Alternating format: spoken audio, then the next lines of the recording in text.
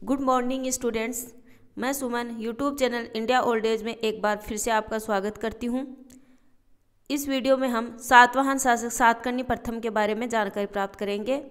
तो देखिएगा, हमने महाजनपद काल बौद्ध काल वैदिक काल सिंधु सभ्यता, इन सब के बारे में अच्छे से जानकारी प्राप्त की थी। अब देखो, आपको हम, मैं बताती हूँ कि जो सातवान वंश का संस्थापक वह सिमुख था। इसने कड़वा वंश के अंतिम शासक सुशर्मा की हत्या की और सातवाहन वंश की स्थापना की थी। ठीक है ना? सातकर्णी प्रथम है। यह है सबसे शक्तिशाली शासक था सातवाहनों का। तो इन सभी बातों के बारे में हम इस वीडियो में पढ़ेंगे और यदि आप लोगों ने हमारे YouTube channel India old age को सब्सक्राइब नहीं किया तो सब्सक्राइब करें, लाइक करें, शेयर करें और बेल आइकन दबाएँ ताकि आपको नए नोटिफिकेशन मिलें।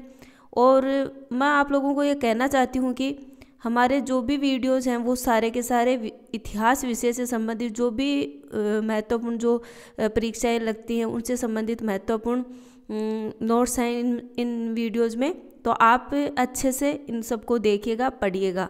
और यदि कोई त्रुटि हो तो हमें बताइएगा। तो देखिए, चलते हैं सातकर्णी प्रथम के बारे में जानकारी प्राप्त करते हैं।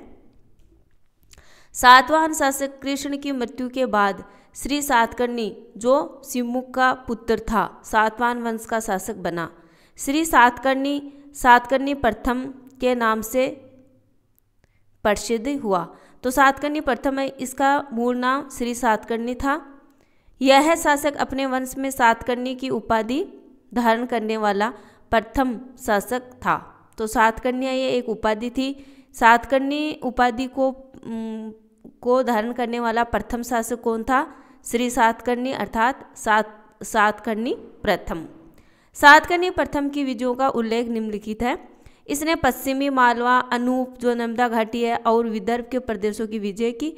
विदर्भ उसने सुंगों से छीना था। सुंग कौन थे? इन सब के बारे में भी हमने पहले आपको बताया तो वहाँ पे देखिएगा आप। तथा कुछ समय के लिए उसे अपने नियंत्रण में रखा। तो सुंग कौन थे? ठीक है ना? तो जो मौर्य वंश था, जो मगध महाजनपद था, उसमें सबसे शक्तिशाली जो मौर्य थे, उसके बाद सुंग आते हैं, फिर कणवा आते हैं, फिर सातवाहन आते हैं, ठीक है ना? तो सुंगों के बारे में हमने पहले आप लोगों को पढ़ाया, वहाँ पे देखिएगा। सातकर्णी प्रथम के समय में वाशिष्ठी पुत्र आनंद, जो सातकर्णी के अधिकार प्रमाणित मुखिया था। ने सांची स्तूप के तोरण पर अपना लेख खुदवाया था। यह लेख पूर्वी मालवा क्षेत्र पर उसका अधिकार प्रमाणित करता है। पश्चिमी मालवा पर सातकर्णी के अधिकार की पुष्टि श्री सात नामधारी सिक्कों से हो जाती है, जो इस क्षेत्र से प्राप्त किए गए हैं। सातकर्णी का साम्राज्य विस्तार पूर्व की ओर कलिंग राज्य की सीमा को स्पर्श करता था। तो कलिंग कहाँ स्थित है? इसका आंसर आप हमें कमेंट बॉक्स में दे दीजिएगा। उत्तरी कोंकण तथा गुजरात के कुछ भागों को जीतकर उसने अपने राज्य में मिला लिया था। सातकर्णी को कलिंग नरेश खारवेल के आक्रमण का सामना करना पड़ा था। हाथी गुम्पा अभिलेख से पता चलता है कि अपने राज्यारोहण के दूसरे वर्ष खारवेल ने सातकर्णी की परवाह न करते हुए पश्चिम की ओर अपनी सेना भेजी। यह सेना कर्णवेणा के जिसे वेगंगा नदी तक आई तथा असिक नगर में आतंक फैल गया। यह स्थान सातकर्णी के अधिकार में था।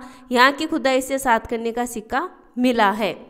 तो जो कलिंग नरेश खारवेल है, इसके बारे में भी हम आगे आपको पढ़ाएँगे।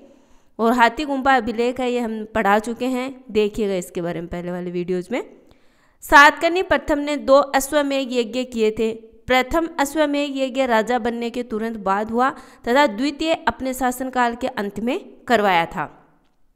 अश्वमेघ यज्ञ के बाद सातकर्णी ने रजत मुद्राएँ उत्कीर्ण करवाई, जिन पर उसकी पत्नी का नाम नागनिका अंकित है। इनके ऊपर अश्व की आकृति भी मिलती है। सातकर्णी प्रथम ने मालव शैली की गोल मुद्रा चलाई, ठीक है? तो मालव शैली की गोल मुद्रा किसने चलाई? सातकर्णी प्रथम ने। सातकर्णी प्रथम ने दक्षिणा पथपति तथा अप्रतिहत चक्र जैसी महान उपाधियाँ धारण की। इसकी उपलब्धियों का वर्णन नागनिका, जो इसकी पत्नी थी केंदाना घाट अभिलेख से प्राप्त होता है। इस, उसका शासनकाल बौद्धिक दृष्टि से समृद्धि एवं संपन्नता का काल था। यह प्रथम ऐसा शासक था जिसने सातवाहनों को सार्वभौम स्थिति में ला दिया। उसके विजयों के फलस्वरूप गोदावरी घाटी में प्रथम विशाल साम्राज्य का उदय हुआ, जो शक्ति तथा विस्तार में गंगा घाटी में, सुंग तथा पंजाब में यवन साम्राज्य की बराबरी कर सकता था।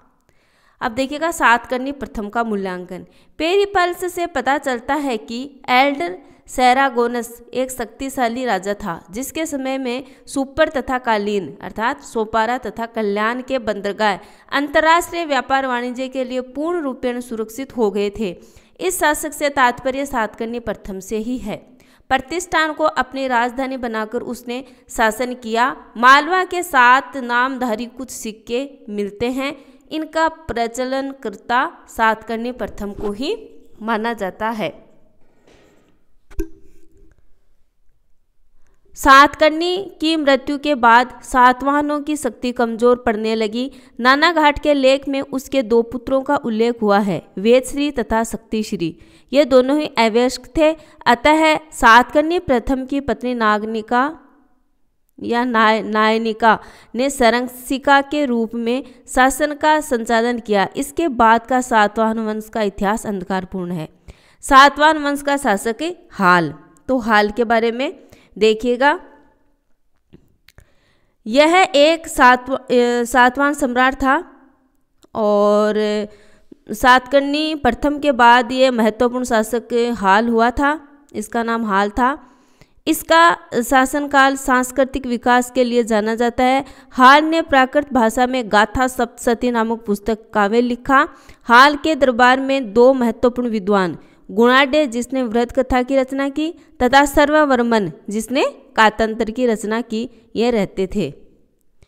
सातवान वंश से संबंधित महत्वपूर्ण तथ्य देखिएगा। सातवानों की राजकीय भाषा प्राकृत थी।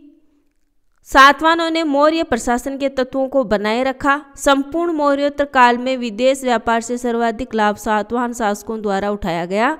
सातवाहन शासकों ने ही पहली बार धार्मिक क्षेत्र में भूमि अनुदान देने की प्रथा प्रारंभ करी। इस अनुदान में दान प्राप्त करने वाले को संबंधित भूमि से केवल राजस्व की प्राप्ति होती थी। यह भूमि अनुदान स्थानांतरणीय था वंशानुगत नहीं था। इस प्रथा से ही कालांतर में सामंतवादी प्रणाली की शुरुआत हुई। सातवान शासकों ने ब्राह्मण धर्म के अलावा बौद्ध जैन धर्मों को भी प्रश्रय दिया। इनके काल में अनेक चत्ते विहार और स्तूप बने थे। तो देखिएगा, ये वीडियो बहुत ही इम्पोर्टेंट है। सातकर्णी प्रथम और हाल। दोनों शासकों से संबंधित क्वेश्चन एग्ज़ाम में आते ही आते हैं। तो इस वीडियो को अंत तक देखने के लिए आप सभी का धन्यवाद। YouTube channel India old age को आप सब्सक्राइब ज़रूर करें। ये हम लोगों की आपसे रिक्वेस्ट है। धन्यवाद।